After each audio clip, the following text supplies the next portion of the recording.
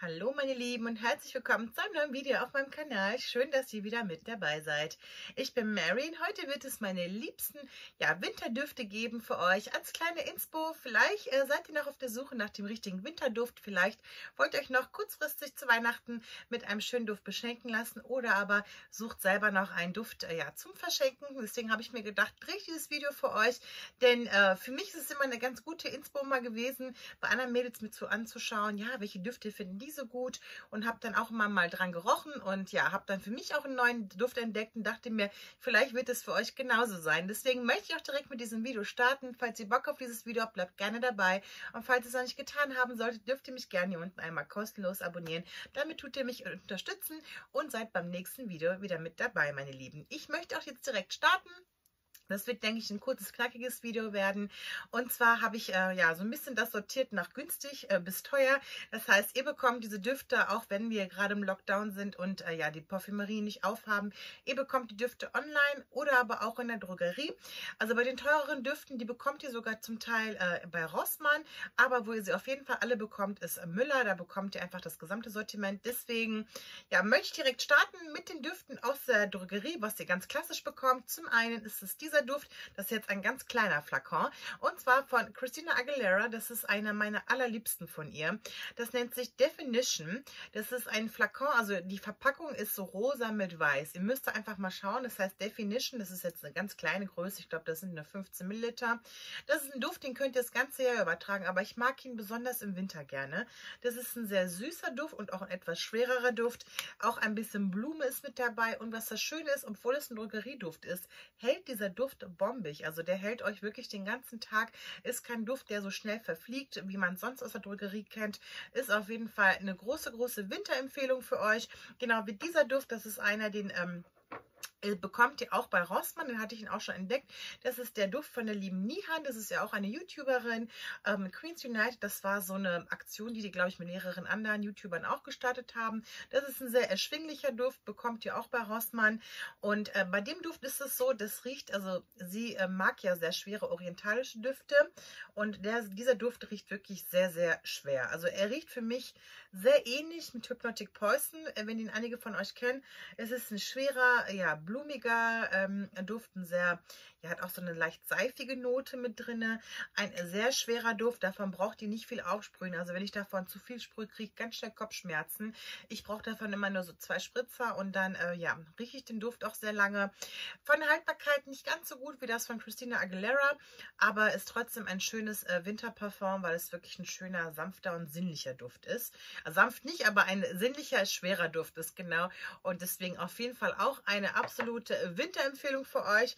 Dann habe ich auch noch zwei Parfüm-Dupes das hatte ich euch schon mal in einem Beauty-Haul gezeigt. Das eine davon ist schon so gut wie leer gemacht. Das könnt ihr natürlich auch in Original kaufen. Das ist von der Marke Lilium Cosmetics. Das sind Parfüm-Dupes, die ihr ja quasi über Lilium ähm, ja, Cosmetics kaufen könnt. Auf Instagram hat sie auch eine Seite und darüber könnt ihr die anschreiben und dann eure Parfums bestellen. Ich bin mega zufrieden mit den Düften. Ihr seht, das ist fast komplett alle. Und zwar war das ein Dupe zum Dior Poison Girl. Für alle, die dies äh, ja in Original kennen, das ist so ein äh, runder Flakon von Dior ist ein, ja, ich würde mal sagen, ein schwerer, süßer Duft. Also wirklich super, super süß. Man muss das mögen.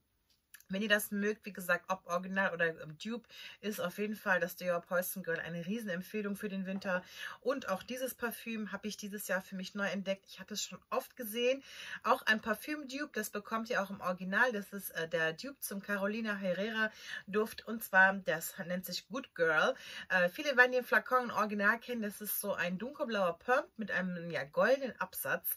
Und ich bin immer ein bisschen zu geizig für diese ganz teuren Düfte, denn der kostet im Original ziemlich viel. Aber aber ich habe das Dupe dazu, wie gesagt, bei Lilium gekauft und ähm, ich bin sehr, sehr zufrieden auch mit dem Dupe und ich weiß, dass es das auch von Larif gibt. Also bei Rossmann bekommt ihr auch davon ein Dupe. Larif nennt sich das. Das ist so eine dunkelblaue, längliche Flasche und bei dem Duft ist es so, es muss man mögen. Das ist ein sehr, sehr schwerer Duft, ein süßlicher Duft, der eine sehr würzige Note hat. Also ich hatte jetzt einmal eine Freundin, die gesagt hat, es riecht ein bisschen nach Mann. Also sie hat es, ähm, ja, ihr hat es nicht gefallen, aber ich muss euch ganz ehrlich sagen, wenn ich den Duft drauf habe, der entfaltet sich auch und ähm, der riecht nicht ganz so krass würzig nachher noch. Nachher kommt so eine ja sehr süße Note mit durch. Ein absoluter Lieblingsduft im Moment, den ich auch rauf und runter trage und wie gesagt, Good Girl Carolina Herrera, auf jeden Fall auch eine absolute Winterempfehlung für euch. Und genau wie dieses Parfüm, das bekommt ihr auch bei äh, Rossmann und ihr bekommt es bei Müller. Und das ist ein Parfüm, ähm, es ist ein Parfüm von Job, was wirklich sehr günstig ist. Ich glaube, ich habe damals 25 Euro bezahlt. Das bekommt ihr auch online. Das ist das Job Le Bon. Und bei diesem Duft ist es einfach eine absolute Vanillebombe. Ähm, für mich riecht es einfach nur nach Vanille. Wenn man vanillige Noten mag, dann mag man auch diesen Duft. Ich mag ihn total gerne und er trage ihn im Moment auch sehr, sehr gerne. Ist auch nicht mehr ganz viel drin. Ich hatte damals mir eine große Flasche mal gekauft. Ich glaube, das waren ich glaube 75 Milliliter, ich weiß es nicht mehr genau. Auf jeden Fall ein recht erschwinglicher Duft, der auch super langanhaltend ist. Den riecht ihr den ganzen Tag über. Ist wie gesagt sehr vanillig. Wenn man pure Vanille nicht mag, wird ihm das, wird das einem nicht gefallen. Aber wenn man wirklich auf so vanillige Noten steht, dann wird euch das sehr gefallen. Wie gesagt, bekommt ihr auch ganz regulär in der Drogerie. Genau, wie diesen Duft, den habe ich letztens sogar noch bei Rossmann entdeckt, was ich sehr cool fand. Und zwar ist es ein Parfüm von Guess, das nennt sich Seductive. Ich glaube, Seductive Noir müsste das heißen, genau. Und das ist auch ein Duft, ähm, der ist wirklich sehr schwer und hat auch eine recht würzige Note. Mag ich total gerne, ist ähm, leider, obwohl es ein Parfüm von Guess ist, ist und auch nicht so günstig ist, ist es allerdings nicht so lang anhaltend. Also wenn ich mich damit eingesprüht habe, ich rieche das über den Tag verteilt schon, aber es ist jetzt nicht so, dass ich denke, ähm, oh okay, am Abend, ähm, das riecht immer noch. Die Kleidung ja, aber ich rieche es an mir halt nicht mehr. Verfliegt nicht schnell, aber es hält auch nicht super lang. Trotzdem eine sehr große Empfehlung für den Winter, weil es einfach ein sehr ja, würziger, sinnlicher und trotzdem ähm, ja ein sehr süßlicher Duft ist. Auch ein absolutes Winterparfüm. Es wäre auf jeden Fall auch etwas, was man im Sommer schlecht tragen könnte, weil es, glaube ich, viel zu schwer wäre. Aber ein Duft, den ich sehr gerne vor allen Dingen abends mag. Ähm, ja, auch wenn man jetzt im Moment abends nicht viel rausgeht. So, das wäre halt ein Duft, den man halt mehr so für abends äh, benutzen könnte. Für tagsüber wäre mir, glaube ich, eine Note zu schwer. Dann, ähm, ja, das vorletzte Parfum, was ich euch heute gerne zeigen möchte, ist auch einer meiner absoluten Lieblinge. Das bekommt ihr auch bei Rossmann. Bekommt ihr aber auch bei Müller und auch online ist es ein bisschen günstiger. Das ist von ähm, ja, Just Cavalli. Das nennt sich einfach nur Just. Und das habe ich auch schon gut benutzt, wie ihr sehen könnt. Das ist mehr als die Hälfte verbraucht. Auch ein toller, toller Duft. Ich weiß, dass den auch viele Mädels, ich glaube, das ganze Jahr übertragen. Aber ich muss sagen, für mich ist es ein Duft, der ist einfach Herbst, Winter. Es ist ein ja, Duft, der sehr ähm, süß und auch ein bisschen, ja, ich sage mal ganz gerne sexy riecht. Also immer, wenn ich das drauf habe, äh, muss ich ganz ehrlich sagen, weil ich angesprochen, was hast du da drauf? Riecht wirklich ähm, sehr, sehr sinnlich und äh, sehr süß und Einfach ein schwerer Duft. Ich kann davon auch nicht zu viel tragen, muss ich sagen.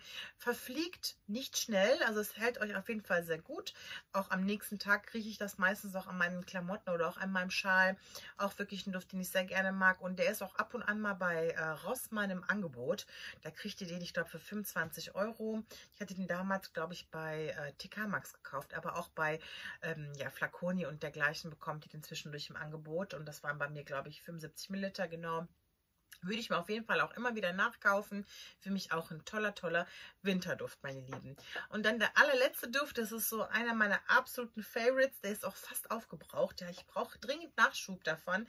Ich habe ihn fast komplett benutzt jetzt. Ich hatte ihn mir letztes Jahr gekauft. Und ja, ich brauche so im Schnitt, es kommt immer auf den Duft an, so ein Jahr, dann brauche ich schon so eine Flasche auf. Das war auch eine große Flasche. Ich glaube, das waren 50 Milliliter, wenn ich mich nicht irre. Und zwar von Jean-Paul Gaultier. Das Skandal, ja. Ich fand auch den Flakon so schön. Ich traue mich auch gar nicht, wenn das alle ist, den wegzuschmeißen, weil der einfach so schön aussieht. Hier mit diesen Frauenbeinen. Das ist ein Duft, da muss ich euch ganz ehrlich sagen, den habe ich auch damals auf Empfehlung gekauft. Ich hatte ihn bei einigen Mädels ähm, ja quasi gesehen, dass sie den immer wieder gezeigt hatten. Und ich hatte ihn damals einmal bei Müller, habe ich ihn angeschnuppert. Da hat er mir nicht gefallen. Ich kann es euch nicht sagen, der hatte irgendwie so eine Note, die mir irgendwie nicht gefallen hatte. Und dann habe ich mir das ähm, aber aufgesprüht und ähm, habe das mit nach Hause genommen, diesen kleinen ähm, Streifen. Und da muss ich euch sagen, als der sich entfaltet hat, hat er mir total gefallen. Das ist oft so bei Düften, dass ihr die im ersten Moment so riecht und denkt sich, hm, okay. Und wenn ihr es dann auf, ähm, aufträgt und ihn so ein bisschen entfalten lässt, dann verändert der Duft sich auch. Und es ist auch oft so, dass Düfte nicht bei jedem gleich riechen. Das habe ich auch schon oft erlebt. Aber äh, wenn ihr mich nach meinem absoluten Winterduft fragt, ist das mit eins meiner aller, allerliebsten. Ist ein sehr schwerer, ein sehr süßer Duft. Man muss das wirklich mögen. Für alle Mädels, die keine süßen Düfte ähm, mögen, ist dieses Parfüm auch nichts. Hat auch eine ganz leicht würzige Note wieder dabei bekommt ihr allerdings, ähm, so viel ich weiß, was die Drogerien angeht, nur bei Müller. Ansonsten bekommt ihr den auf jeden Fall online. Die gibt es auch oft in so Geschenksets. Ja, ihr seht das, da ist bei mir nicht mehr sehr viel drin. Einer meiner absoluten Lieblingswinterdüfte und deswegen wollte ich euch den heute auch nochmal unbedingt zeigen.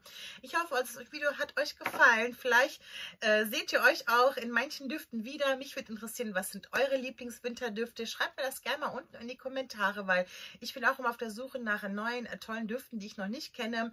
Und ja, mich würde mal interessieren, was euch da so gefällt, was ihr im Moment am liebsten tragt. Auch wenn es sehr schwierig ist, mit der Maske äh, manchmal Düfte zu ähm, ja, riechen, aber ich äh, mag es einfach, wenn ich auch zu Hause bin, äh, nicht rausgehe, einfach mal morgens, wenn man sich frisch gemacht hat, einen schönen Duft aufzusprühen.